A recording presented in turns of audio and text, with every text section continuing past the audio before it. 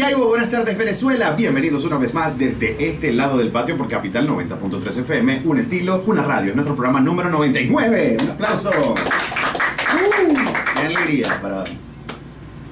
¿Para qué celebro? No, no importa, 99 son 99. Y mañana es nuestro programa número 100 y no sé qué vamos a hacer todavía. ¿Va la torta? Puede ser que vaya la torta. Hoy es 8 de agosto, el ducentésimo vigésimo día del año del calendario gregoriano, lo que es igual quedan 145 días para finalizar el año. Eh, ayer dije exactamente esto mismo, pero no era, uno menos de las dos cosas que dije. Hoy es día del orgasmo femenino. ¿Lo celebraste? ¿Lo celebraste? ¿Lo celebraste? ¿Lo celebraste? ¿Lo celebraste? Ok. También en 1931 se funda el Ateneo de Caracas y también hay otra efeméride que no voy a decir porque forma parte de una cosa que viene a continuación. Mi gente del patio, Carlos Aguirre en la sala técnica, ahora Patricia Arán de la producción y las cámaras. Para todos ustedes, Ángel David Sardi, certificado de locución 52508, el 29453 como productor nacional independiente. Hoy me acompañan los protagonistas de hashtag Nada Personal, una obra teatral que está puntito ya de estrenarse en el Teatro Baralt y desde ya le doy la bienvenida a mi primera invitada. Ella es la parte femenina de la obra. Su nombre completo es Natalia Marcela Lozano Cepeda. Nació un 7 de abril de 1995 en la ciudad de Maracaibo, estudia comunicación social. Le gusta mm, todo tipo de música, le gusta el color turquesa, se considera o se define como una mujer analítica. Lo mejor de ella es que es buena aconsejando, lo malo es que es muy odiosa y la cosa más loca que he hecho es hacerse la desmayada. Bienvenida Natalia, buenas noches, ¿cómo estás? Buenas noches, gracias por la invitación. Eh, una frase que nunca dice nadie, ningún invitado en el programa de radio. Gracias Yo por estoy agradecida.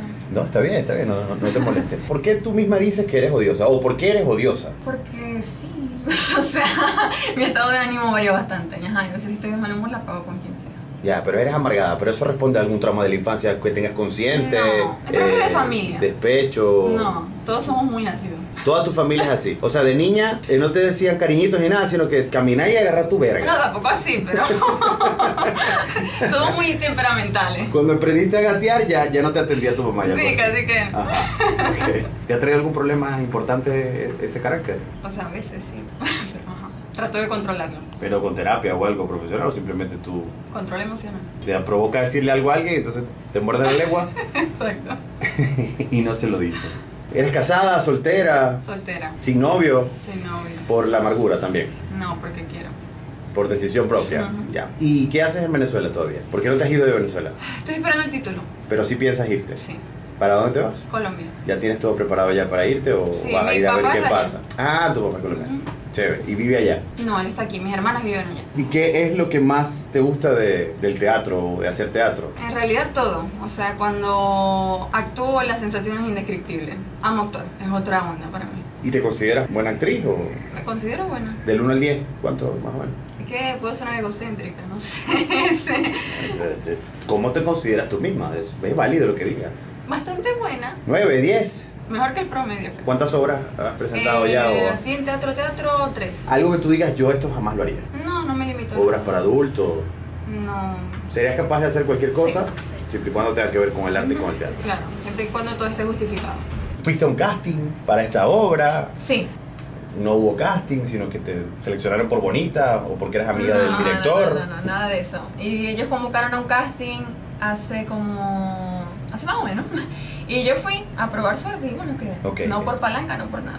¿Y qué te pusieron a hacer ahí en ese casting? ¿Cómo fue la cosa? Eh, ¿Leer ellos un enviaron un, eh, un fragmento de un pequeño monólogo y eso era lo que tenías que hacer. Ok. ¿Te lo aprendiste? ¿Te Me montaste? lo aprendí Lo ya. suerte. Y vas a estrenarte este fin de semana. Este fin de semana. 7.13, en la próxima parte seguimos conversando con los protagonistas de hashtag nada personal. Esto es desde este lado del patio, nosotros comenzamos así. 7.23 minutos de la tarde, estamos de vuelta desde este lado del patio por Capital 90.3 FM. Recuerde que usted mañana a través de mi canal en YouTube puede ver lo que pasó dentro y fuera del aire en esta entrevista. Y es momento ahora de darle la bienvenida al otro protagonista de Ash- hashtag nada personal, Guillermo Alberto Montiel López, James Bond.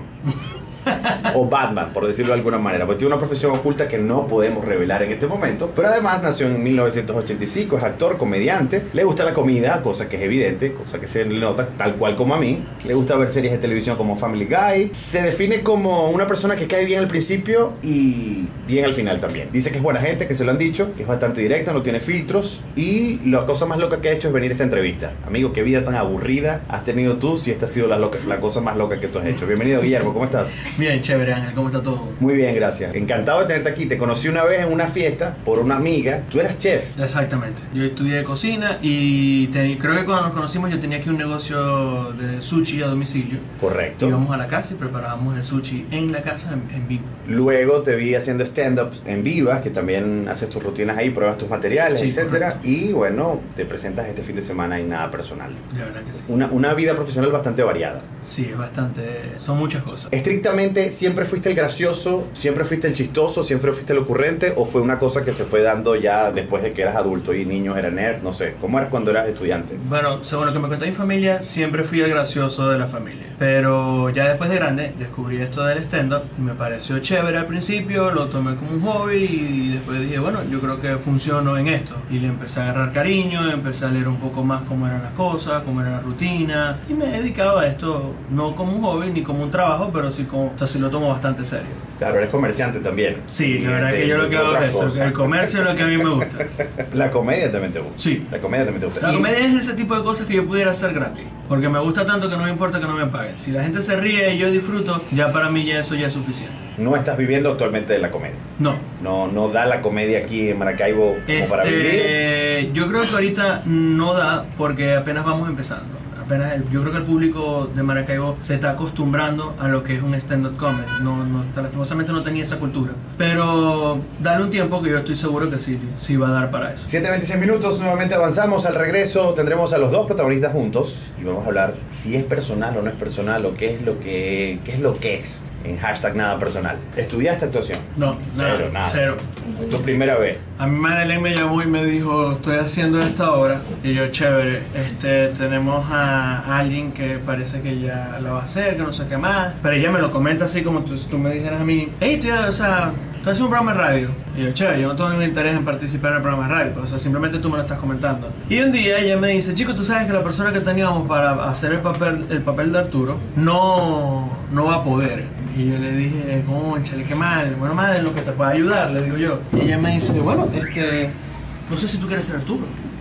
Y yo, yo le dije, carga, yo nunca he actuado, le dije, yo lo O máximo. sea, pero ahí sí hubo palanca entonces. ¿Ah? Ahí sí fue la palanca de que no fue como ella que Sí, hizo ahí hubo palanca, ahí hubo palanca que ella es completa. amiga tuya, entonces eh, ven acá. ¿Qué estás haciendo? Ven acá. Ahí hubo la palanca completa. O sea, Ok. Madeleine me dijo, hey, vos vas a ser Arturo. Y yo, bueno, pásame el guion, le dije, para leerlo, para ver qué tal.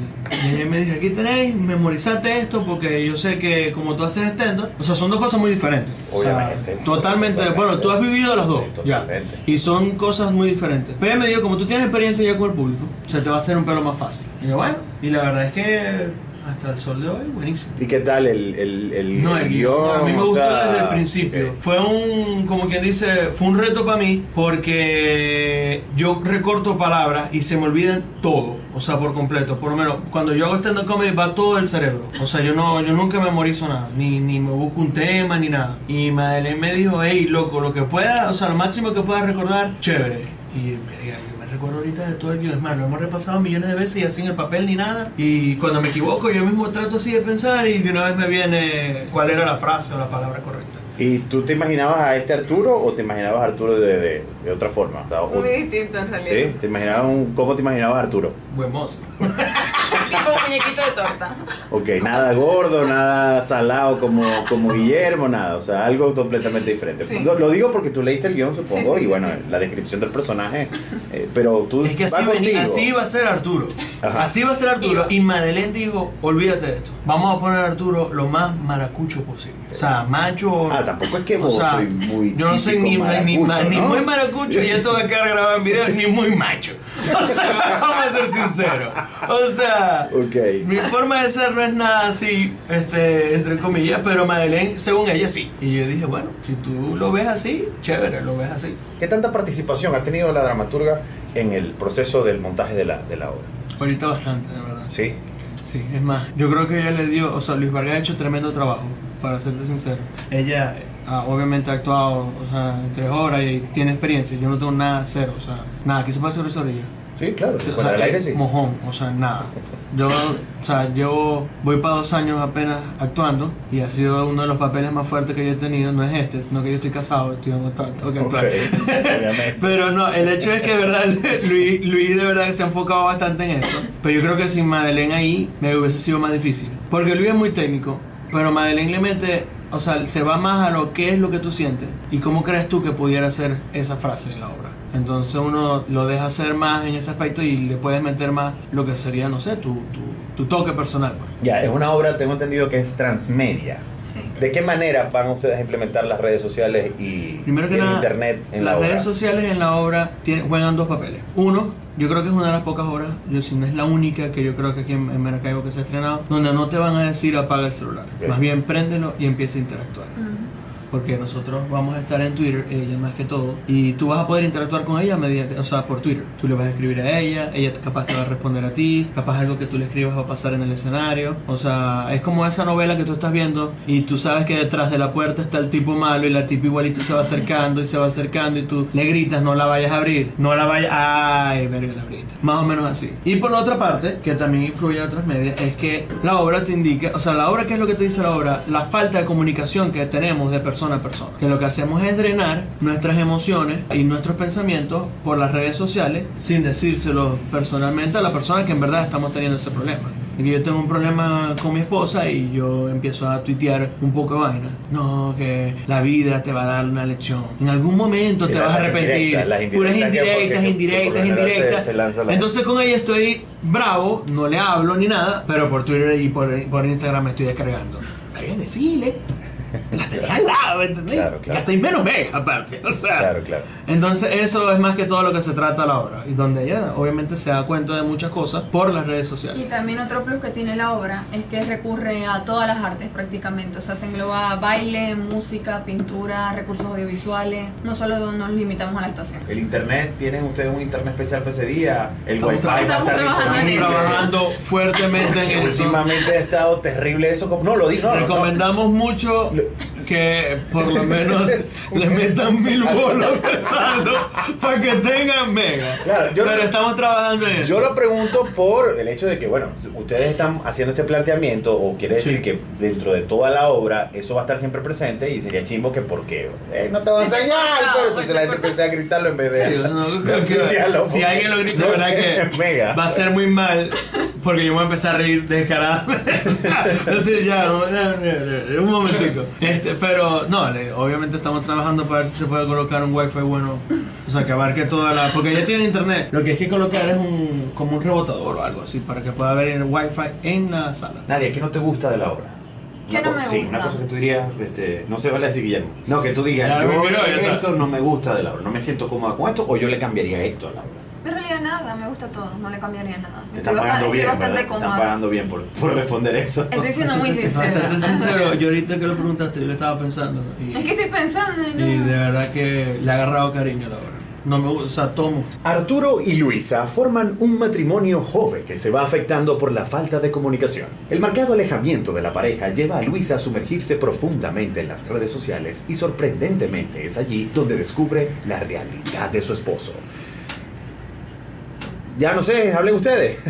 Guillermo y Natalia, los protagonistas de Nada Personal. Arturo y Luisa, los tengo aquí conmigo. ¿De qué va esta obra, muchachos? Tú le has dicho prácticamente todo. No, yo leí la sinopsis. no podemos yo ir, no. gracias. Yo leí la sinopsis, ah, pero está bien. ¿Cómo, cómo, cómo es, ¿Cuál es la realidad de Arturo? ¿De qué es lo que se da cuenta? ¿Por qué es la falta de comunicación? ¿Hubo cachos? ¿Qué pasó allí? Mira, la realidad de Arturo es que Arturo tiene un secreto bastante, bastante fuerte.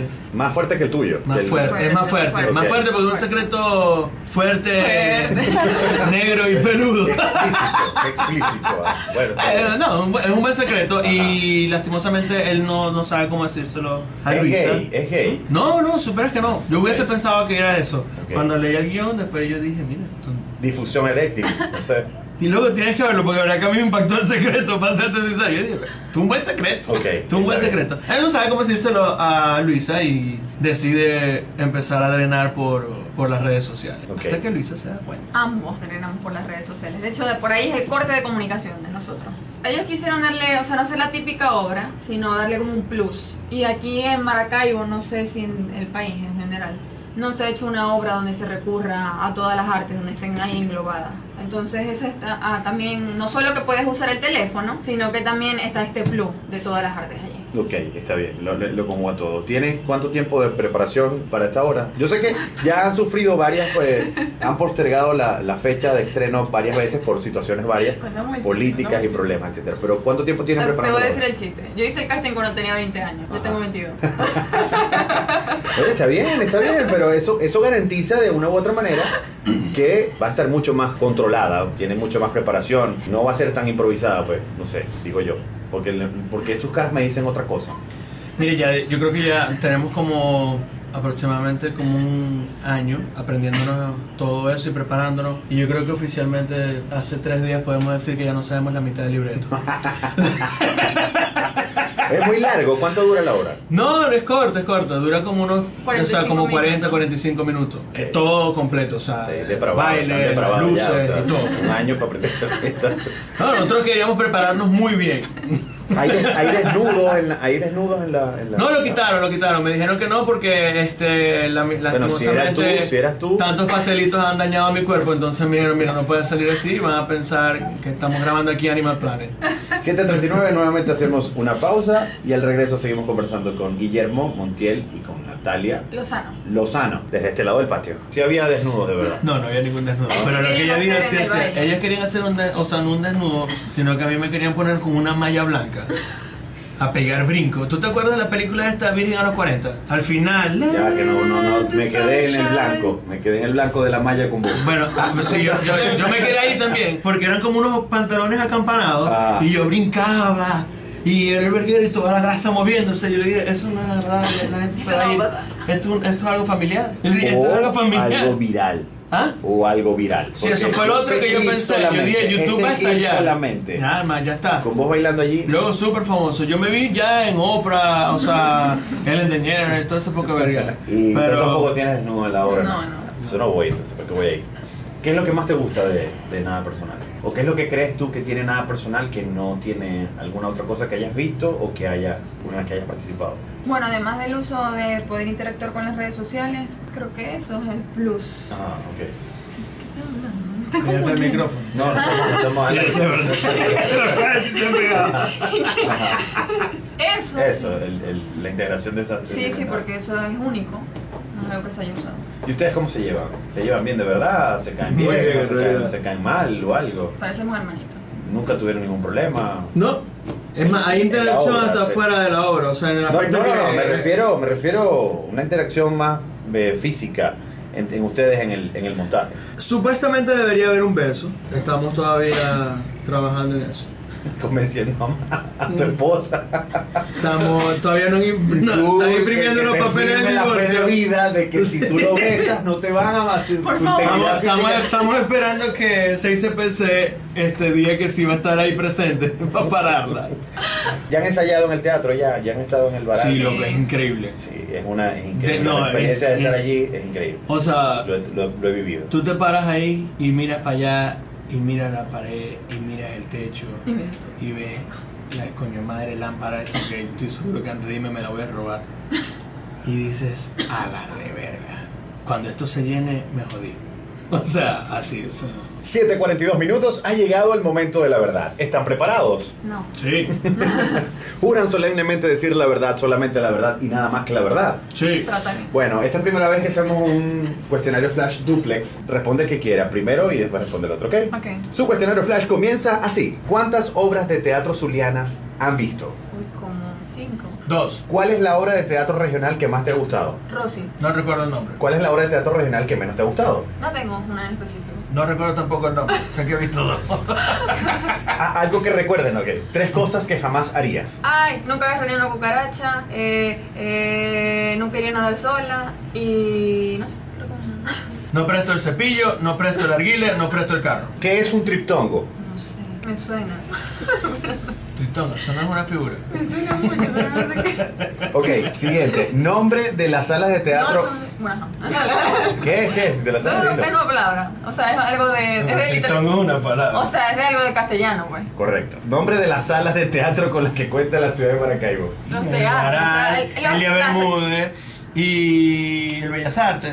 Del 1 al 10, tomando como 1 nada y 10 como excelente, ¿qué tal les cae su director? Bien. ¿Posarían desnudo por una causa benéfica? Hasta por cobre. No. ¿Qué personaje cultural venezolano nació un 8 de agosto? 8 de agosto fue cuándo? No, no. Hoy. Hoy. Yo nací el 5 de marzo. Simón Díaz. Correcto. ¿Sí? Completa la frase. En la defensa olímpica de los nativos fueros. Paso. Paso también. Pero sí saben de qué, de a qué pertenece la frase, ¿no? Nada más mínima idea. Ok, una cosa que nadie sepa de ti. Si no lo saben es por algo. Ay, chévere, pues. Tengo un solo testículo. ¿Qué significado tiene para ustedes la frase es mejor comerse un pollito entre varios que un samuro uno solo? Comienza Natalia. Comienza Natalia. Ya, está muy difícil. Repito, ¿qué significado para ti tiene la frase es mejor comerse un pollito entre varios que un samuro uno solo? No lo sé. Me siento muy rubia en este momento. No sé. Guillermo. Es mejor calidad que cantidad. De la siguiente lista de opciones tiene que escoger solo una. Revivir un ser querido o un millón de dólares. Revivir un ser querido. Un millón de dólares. No tengo ningún ser querido ahorita muerto. Irse o quedarse en Venezuela. Irse. Irse. María Bolívar o la Tigresa del Oriente. Paso. La tigresa. El Potro Álvarez o Roque Valero. Ninguno. Tienes que escoger una, obligado. El potro. El potro. Este fue el cuestionario Flash Duplex para los muchachos de Nada Personal que se estrenan este próximo 12 en el Teatro Barat. Las entradas están a la venta en No todos van al cielo, en Mantra de Avenida Universidad y en el Baral. El triptongo es que la verga que esa de la unión de tres vocales en una misma sílaba. Amigo, viste triptongo yo me imaginé un, un triángulo, una En mi mente vino una figura y todo. O sea, y la vi, en mi mente yo la vi. O sea, si hubiese un aparato que pudiera leerlo y ponerlo así. ¿Ah? La figura Yo vi una, verga muchísima aparte. Era Mira. como multitrimen- tridimensional. Había un agujero negro y todo que había ahí en esa verga. Te lo juro. Pensando objetivamente por ustedes dos como protagonistas. ¿Por qué yo debería ir a ver la obra? Porque no has visto nada igual. Sí, de verdad que es única. O sea, vas a, no vas a salir y "Ah, ya pasó, sino vas a salir y te vas a quedar pensando. O sea, el tema es muy común, pero nosotros te vamos a plantar un tema común de una forma No común. muy, muy, muy, muy diferente. Por eso que te digo que de la obra no hay nada que yo pueda decir, no me gusta tal cosa. O sea, porque tocaron todos los aspectos, o sea, que hay que tocar de una manera muy diferente y muy bien, muy bien. Bueno, el que escribió Madrid, no hay ni más nada. No, no, no dudo de la dramaturgia. Madrid escribe cualquier tampoco cosa. de la dirección, de la actuación un poco. No, tampoco, tampoco, en absoluto. O sea, sé que son profesionales en lo que hacen y que, y que, y que están haciendo este trabajo. Bueno, la invitación por parte de ustedes mismos como protagonistas a las cámaras para que la gente vaya a ver la obra. Natalia, que nos ha hablado. Ok, les esperamos el sábado 12 en la obra hashtag nada personal. Teatro Baral a las 6 y media. Tienes que aprenderse eso. Hashtag. Nada personal. Pero ¿cómo es? Lo- pues, tiene una No, sí, no, porque- puede ser al- puede ser de las dos formas o, no, es o de abajo hacia- para de, arriba. abajo para- de arriba para Ajá. abajo y de la izquierda a la derecha. Ya, obligado. Siempre. Dice, soy zurdo igual. Para- Arriba Si para abajo, de eres- izquierda a eres derecha. así y Exacto, así. Yo soy zurda y... Exacto. Ajá. o sea, ta, ta, ta. Tú, si tú eres zurdo, ¿por qué lo hiciste con la derecha? Porque yo soy la derecha, no hay ningún problema. No, pero si eres zurdo deberías haber. O sea, No, si, si supieras que Hecho tu cosa con la izquierda. con la derecha. Es otro símbolo. Siento que nos están bendiciendo. Es otro símbolo. Es un depósito del hermano Coco lo que tú estás haciendo ahí. O sea, ¿Qué clase de vaina es esa? Vea, loco, va a ser bueno. Y eso que todavía no le hemos terminado de ver así todo en conjunto. Porque hay muchas cosas que inclusive nosotros no podemos ver. Porque si nosotros la vemos ya estamos, o sea, mentalizados a que eso va a pasar y va a ser, vamos a tener otra reacción. 7.48 minutos de la noche, estamos de vuelta desde este lado del patio. Saludamos a Patricia Becerra. Nos acompaña una representante de la cultura zuliana, eh, nada más y nada menos que la directora del Teatro Baralt de la ciudad de Maracaibo. Gracias de verdad por honrarnos con esta entrevista y por venirnos a chequear. Yo creo que, mira, tiene cara como que nos va a regañar o algo así. Pónchala ahí, por favor, para que No. Patricia salga No, para nada, allá para en el video de mañana. Ella es Patricia Tengo Becerra. cara de brava. Sí, tienes cara de brava, pero no es así. Muchachos, llegó la hora en la que ustedes van a demostrar sus aptitudes para el canto. Porque todos los que vienen para acá cantan en el patio idol. La gente canta en el carro, la gente canta en el baño, aquí la gente canta en el patio. Tienen que cantar un pedacito de una canción, el que ustedes quieran, el que a ustedes les guste. ¿Están listos? No. Sí, dale. Ok, ella sí ella nunca está lista. No, eso está muy mal porque el día de la hora Datos que- datos para los interesados que Sí. quieran ser novio de Natalia. Ella, Ella nunca no está lista, nunca. va a estar. No pregunten, con ella, eh, como dice por ahí, más vale pedir perdón que permiso. Ok, con ustedes, Guille y Natalia en el patio idol. Usted es la culpable de todas mis angustias y todos mis quebrantos. Usted llenó mi vida de amargos inquietudes. No sé qué vaina. Ay, no sé. Muy bien, Guille, un aplauso para Guille. Gracias, qué bueno que se terminó. Eso me pone más presión, me siento Natalia. humillada ya. Natalia, no, Humillado me siento yo después de No esto, tengo chica. nada. Él tampoco. ¿Cómo que- cómo que no No sé, soy yo pero así? yo soy la nada del nada. Vamos, Natalia, Dale. Un pedacito de lo que de algo. O sea, ay, nada. Te puedo cantar los pollitos. Adelante. Dios mío. Los pollitos dicen pío, pío, pío cuando tienen hambre, cuando tienen frío. El aplauso para Natalia Lanzano. Recuerden que usted lo va a ver en hashtag nada personal este 12 en el Teatro Baral a las 6 de la tarde. Las entradas están a la venta, por favor, repítemelo de nuevo. En No Todos Van al Cielos, eh, tenemos también la taquilla del Baral y en Mantra, la Avenida Universidad. Me gusta siempre cerrar el programa con un mensaje final de mis invitados. ¿Cuál es su mensaje? Cuando tú estás cansado y piensas que ya no puedes más, recuérdate que hay alguien que está haciendo más que tú por lo mismo que tú deseas. ¿Eh, ¿Tu mensaje, Natalia? Nunca se den por vencidos en nada. Ella es una mujer de pocas palabras. Mi, mi Venezuela.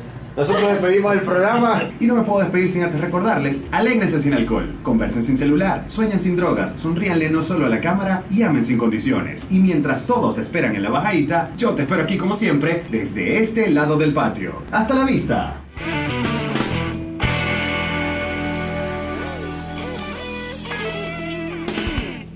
Me parece muy bueno. Excelente, perdón. Es muy bueno, de verdad que sí. Es entretenido, divertido. O sea, de verdad que Ángel es tremendo locutor. Sí. Este, este 12 12 de agosto, sábado Teatro 12 de agosto, en el Teatro Baral a las 6 y media, los esperamos por allá. Para ver hashtags, Nada personal, pueden comprar las entradas en No Todos Van al Cielo, la taquilla del Teatro Baral y en Depilarte y Mantra de Avenida Universidad.